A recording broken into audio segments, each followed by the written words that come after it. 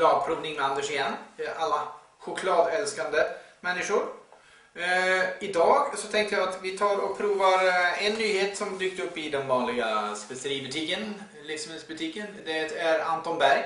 Mint och karamell, 60% kakao, 4% karamell och så lite mint och eh, här är det fair trade. 92,7% av produkterna är fair trade.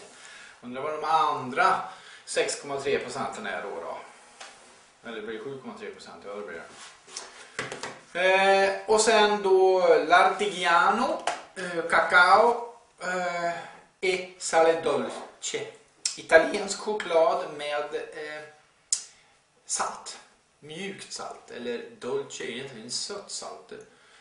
Ja, dulce, nej dolce, mjukt säger vi.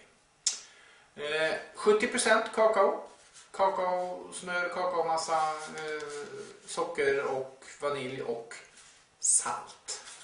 Salt i choklad är populärt. Eh, jag tror till och med Anton Berg har också någon med havssalt eller någonting sånt där. Men nu tar vi och provar en Fairtrade choklad, mint karamell, eh, 60% kakao och en eh, choklad med 70% kakao med salt. Det finns en sån där liten halvkändis i USA som håller på med ehm, mycket med sociala medier och han brukar säga så här att vi marknadsförare, han räknar sig själv som en marknadsförare och entreprenör, vi förstör allting. Det vill säga, marknadsförare säger vi måste ha en ny förpackning, vi måste ha en ny bild på förpackningen, vi måste ha en ny smak, vi måste så jag vet inte hur mycket produktutveckling ligger bakom med tanken om att ta mint, karamell och choklad och blanda ihop det. Eh, men smaker ska det vara. Som bara attan alltså. Det får inte vara ren choklad för då skulle folk upptäcka vad hemskt choklad eh, smakar och luktar egentligen. Vi tittar på chokladen vi provar den. Eh, den här är väldigt mörkt rödbrun faktiskt. Eh, det är lite knottrar i den så jag kan anta att det är karamellbitarna. Det ska bara vara 4% står det men det ser ut att vara ja, skulle nej, det ser ut att vara mer. Men jag ska inte ifrågasätta innehållsförteckningen. Det är EU som reglerar den. Det som står först är det alltid mest av. Så här står det 60% kakao. Det borde alltså stå kakao först i innehållsförteckningen.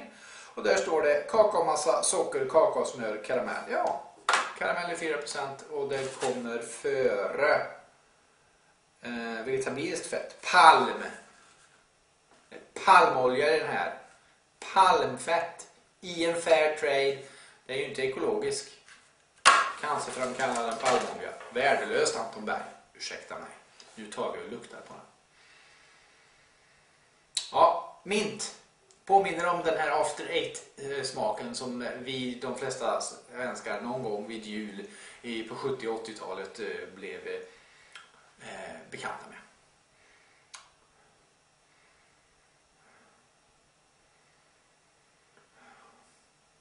Det luktar faktiskt lite torr choklad också. Den där torra pulveriga chokladen du har hemma när du ska göra eh, mjölkchoklad.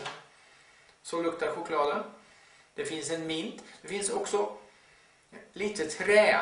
Eh, jag vet inte om minten hjälper till att förstärka trädoften faktiskt. Det är aromatiskt trädoft som någon nyss har sandpapprat på någon fin mahogny eller cederträ eller någonting. Mer cederträ för det doftar lite mer så här.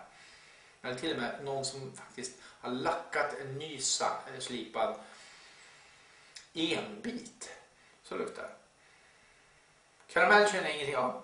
Och då tar vi och smakar på chokladen. För det är det man gör efter att man har tittat på den, eh, luktat på den, så smakar man på den.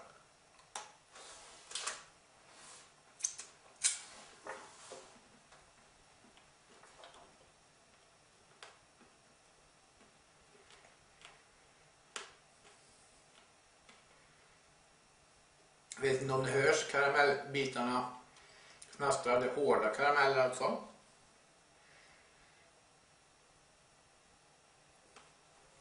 Chokladen är ganska len på gränsen till vattnig karaktär.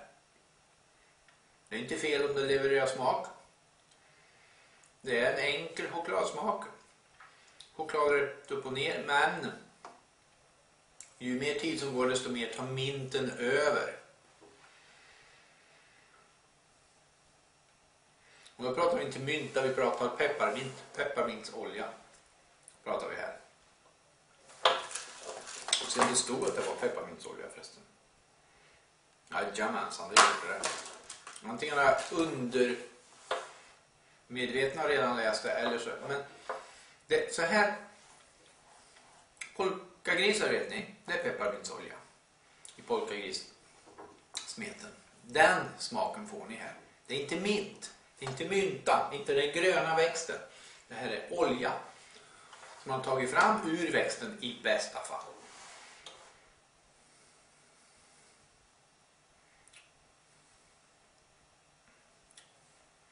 Ja, den tog inte över helt och hållet.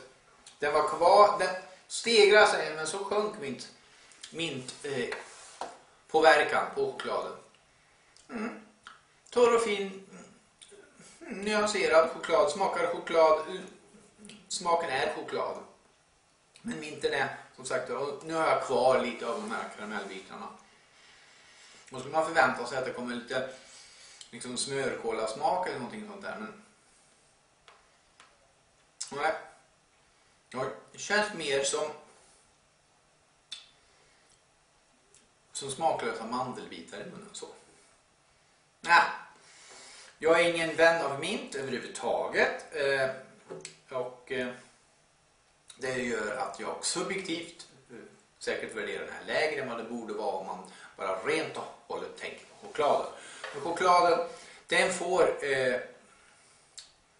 tre av tio av mig. Skulle den haft fyra om det inte varit någon mint i?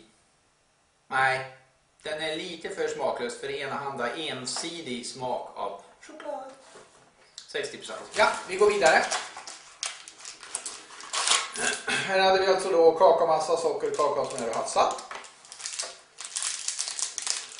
Mer är det inte.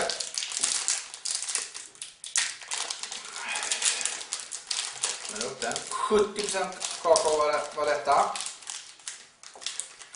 Den hade en liten, liten, liten grå yta den här. Och den har jag nyss köpt. Så jag vet inte hur den som har sålt den här till mig måste ha förvarat den lite på något sätt. För det är en liten grå yta men annars är det en väldigt mörk choklad. Väldigt mörk. Nästan går åt det svarta hållet i färgen. Vi bryter av. Bra motstånd i brytningen. Eh, och här är det inte så att man kan se att det är liksom havssalt strött i när man har gjutit eller någonting. En del har ju det så. Eh, här är nog havssaltet, det är 1% av allt som finns i kakan är havssalt eh, och den är nog med i smeten från början när man gjuter den. Men eh, gjutningen ser väldigt bra ut. Fin kristall. Jämn och fin kristallstruktur, ursäkta men det kliar i ögat. Livesändning och ingen editering. Nej, inte livesändning men spelade in i ett svep utan att klippa. Vi tar och luktar på den här. Mm. Det luktar eh, lite röda vinbär, det luktar choklad, det luktar papper. Jag inbillar mig också att det luktar lite, lite salt. Nu är det salt i den så inbildningen kan vara fullständigt korrekt.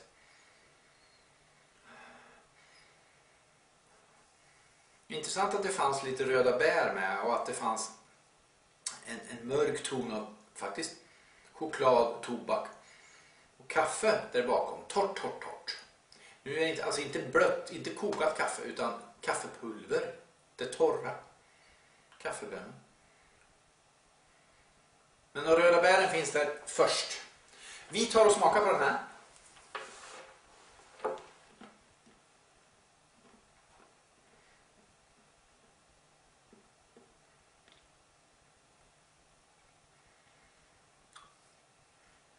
Kändes otroligt torr när man bet i den. Sen kommer det en sälta på en gång. Torrt, salt och sen kommer chokladen.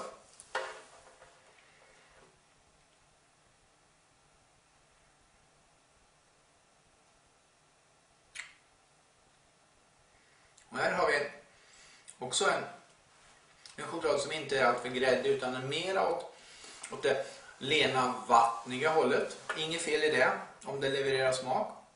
I det här fallet så har vi mörk choklad med en sälta som ligger ovanpå. Du vet, om du tar lite havsvatten i munnen. Den sältan är det faktiskt. Det stod inte av havssalt.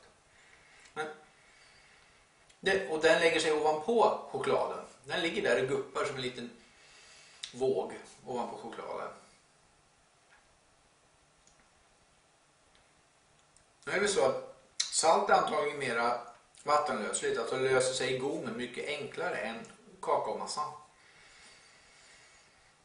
Så den löser sig först. Därför det blir lite mer salt i början. Men chokladen har härlig karaktär. Bitterhet, lite kakao, lite kaffe, lite tobak. Undrar vart de där röda bären på näsan tog mig, för jag känner ingen syra. Utan jag känner bara sältan.